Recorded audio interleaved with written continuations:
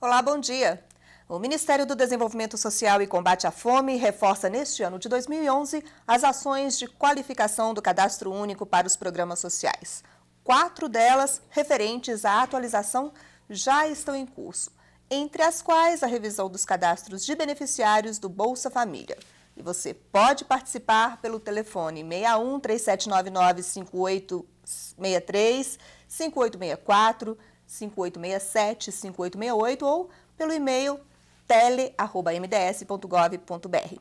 Bom, então vamos agora falar sobre essas e outras iniciativas do MDS com a diretora do Cadastro Único do MDS, Letícia Bartolo. Tudo bem, Letícia? Bom dia, Renata. Bom dia a todos os gestores, técnicos, prefeitos, secretários municipais de assistência social, enfim, a todos os trabalhadores que fazem com que o Cadastro Único e o Bolsa Família cheguem às famílias mais pobres do Brasil. Bom, Letícia, esse ano vocês têm uma função aí que é atualizar os cadastros de mais de 2 milhões de famílias, cadastros que estavam desatualizados já há cerca de dois anos. Além disso, tem a atualização daqueles cadastros que foram identificados nas auditorias. Como que estão essas ações? Bem, Renata, todos os anos o MDS desenvolve ações de qualificação cadastral e atualização cadastral. Duas neste ano são primordiais. A primeira é a revisão dos cadastros daquelas famílias beneficiárias do Bolsa Família que não fizeram atualização cadastral dentro do período determinado, ou seja, estão há mais de dois anos sem atualizar os seus cadastros. Essas famílias, portanto, após a finalização desses prazos de dois anos, elas são chamadas, enfim, como uma última chance, um último momento de que elas procedam à atualização de seus cadastros. Elas têm o prazo até outubro para fazer essa atualização sem bloqueio de benefício e, posteriormente, se não fizerem nos meses de novembro e dezembro, sairão do programa por falta de atualização cadastral em janeiro de 2012. Seria a última chamada. É a última chamada, né? É, nesta situação estão cerca de um milhão de famílias. Fora isso, também todos os anos nós realizamos ações de auditorias no Cadastro Único, como? Por meio do cruzamento do Cadastro Único com outros registros administrativos do governo federal. Então, a gente identifica famílias que estão com informação inconsistente no cadastro único. Pode ser um indício de subdeclaração de rendimento, pode ser um óbito não informado, enfim. Existem várias bases no governo federal e nós cruzamos o cadastro com diversas delas. Também são cerca de um milhão de famílias identificadas com inconsistência no cadastro. Também precisam fazer a sua atualização cadastral. Essas ações todas, elas entram no bojo da qualificação do cadastro único. Né? O cadastro único, o que, que é? Ele é um mapa representativo da pobreza brasileira. No cadastro único estão cadastradas cerca de 20 milhões de famílias com renda per capita mensal de até meio salário mínimo. Então, são as famílias que correspondem ao terço, a terça parte mais pobre da população brasileira. Mas para que eh, os programas sociais que usam o cadastro único para selecionar seus beneficiários cheguem a quem deve chegar, o cadastro precisa estar atualizado. Não é só o Bolsa Família que usa o cadastro único, é importante, porque as pessoas muitas vezes fazem essa confusão de achar que o Bolsa Família é o único programa que usa o cadastro único. Mas não, há outros, o Minha Casa Minha Vida, a Tarifa Social de Energia Elétrica, a Carteira de Idoso. Enfim, o êxito do cadastro único nos últimos anos fez com que ele fosse chamado para ser o mapa do Brasil Sem Miséria, quer dizer, o mapa que vai dizer aos programas do Brasil Sem Miséria quem deve ser atendido e o mapa que vai permitir o monitoramento desses programas e o casamento das necessidades com o mapa de oportunidades. Então, um cadastro não atualizado significa que os programas não vão chegar a quem deve chegar, certo? Por isso a importância de que a atualização cadastral seja sempre feita. Ora, veja, aí você pode me perguntar, mas o Brasil Sem Miséria se dedica a famílias em extrema pobreza.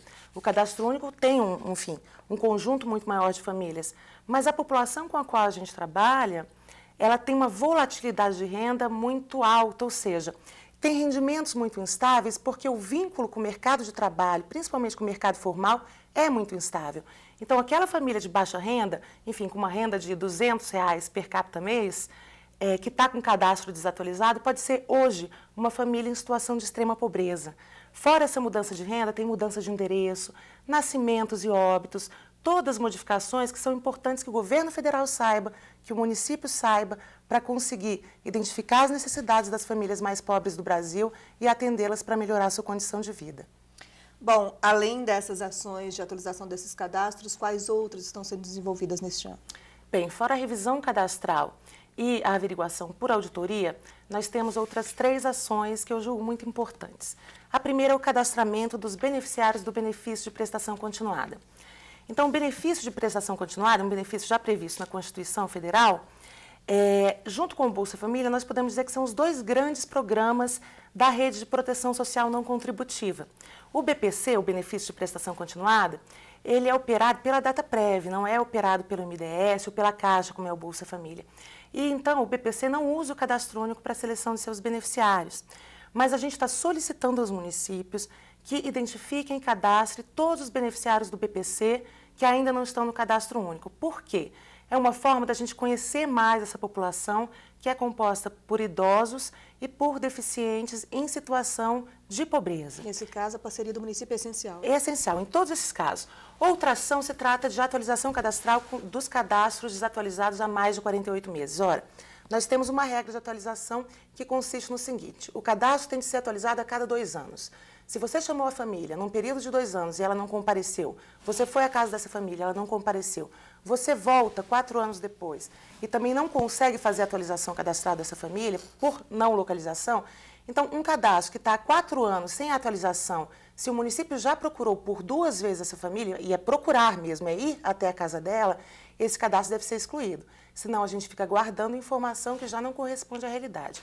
E uma última ação que vale a pena ser ressaltada que vai para campo agora, nesta ou na próxima semana, se, se trata da atualização cadastral daquelas famílias que estão no cadastro único, atendem todos os critérios para entrar no Bolsa Família e somente não entram porque o cadastro está desatualizado.